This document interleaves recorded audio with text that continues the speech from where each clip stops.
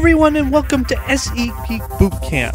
I'm your host, the Software Engineering Geek, and today we're going to be talking about variables. So sit back and download a cup of knowledge because SE Geek begins now.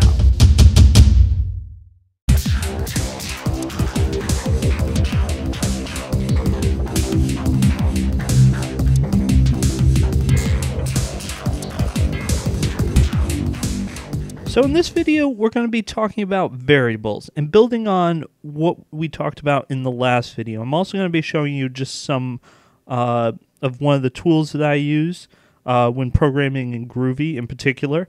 Um, to actually go through this video and actually, you know, be able to use this, you have to install Groovy first. I'll link that up in the show notes uh, for a video of how to install Groovy. So once you get that installed, come back to this video. And once you have that installed, what you can do is type in Groovy dash dash version just to see that Groovy is installed and the current version I'm using is 2.1.6. My JVM is installed, which Groovy works on top of the Java JVM. You don't have to worry too much about that. You just have to get those things installed so you can start using uh, the Groovy programming language, which is the language I chose for these tutorials. So what I'm going to do right now is I'm going to use a tool called Groovy Console, and this is pretty much where I'm going to live uh, for the remainder of uh, these tutorial videos. And if I can just get that up on screen. And this is just a nice little console that allows us to type in some commands run them and see their output uh, in this output window. So first thing I'm going to do is the typical uh, Hello World program that everybody does. My voice is doing funny things there. Uh, and th- uh, first the command we're going to type is um, print ln, which is short for print line. And we're just going to give that what we call a well, string and that is just uh, you know single or double quotes, and we're gonna type "hello world," and then I'm going to go up to this and run it. And as you can see, there's a uh, keyboard command which I'm going to be running from now on. There's a couple other uh, settings I have uh, in here. Obviously, I bumped up the uh, size of the font and uh, I took out show the script on output because we already have it in the top window. I think I also have auto clear on run just to make things a little better. And I'm just going to do control R and run that. And you see it prints out hello world. So this is the first thing most people do when they're learning a new language which I find kind of boring. So let's actually start talking about variables. Now, when I was talking in the last video, I mentioned memory. And memory is like the short term uh, storage. Uh, it's like the you know short term actually memory for a computer. And uh, when you run a program, all of the code of that program, uh, compiled or interpreted, has to be in memory. And one of the things that a lot of variables, one of the things a lot of uh, programs use, I should say, is variables. Uh, it allows us more flexibility. So what I'm going to do here is make a just a generic variable, and I'm just going to call it um, message. And we're going to set that equal to hello world. So now we have a variable called message. I'm just going to take that and put it here. And if I run that again, well, you don't really see much because, you know, not a whole lot has changed. But as you can see, I run it again and it changes and updates. So when you define a variable, um, in you know any programming language, this tells the the uh, program to allocate certain memory for uh, storage. So the more variables you have, the more storage a uh, a particular program takes in general.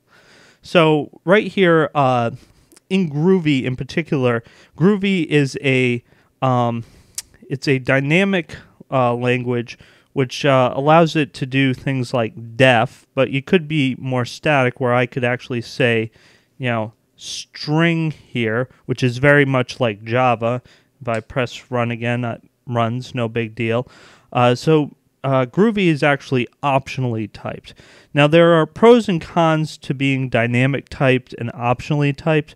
Um, some of the pros to being dynamic typed is you can put anything, you know, pretty much into uh, a dynamic variable. Although once it's dis- uh, once it's assigned, then you know it becomes a little bit more restrictive after that. Like the, the programming language figures out what's in that variable. And this can be useful for other things that we're not really going to talk about so much in this.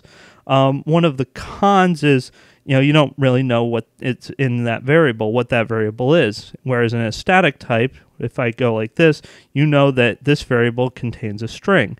Now we could also uh, just as easily put int which is for integer and we could change this to the number 9 or something like that and run it and it prints out that one thing that's actually interesting in um, groovy is because of how it actually treats uh, different variables and its you know dyna- dynamicism, it'll actually allow this and print it out just fine.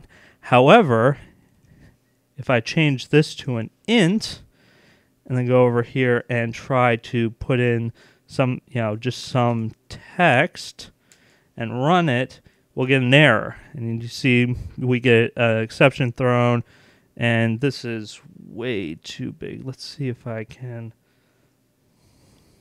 Mm. And it's not making the. Let's see. View, smaller font. What's the view? Control Shift S.